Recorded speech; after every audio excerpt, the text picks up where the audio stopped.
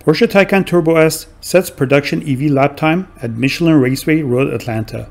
A production Taycan charged over the finish line posted an impressive lap time of 1 minute 33.88 seconds. It was a standard vehicle that are available to customers at authorized Porsche dealer partners across the US. The Taycan Turbo S took to the track on 3rd of November at an ambient temperature of 68 degrees Fahrenheit.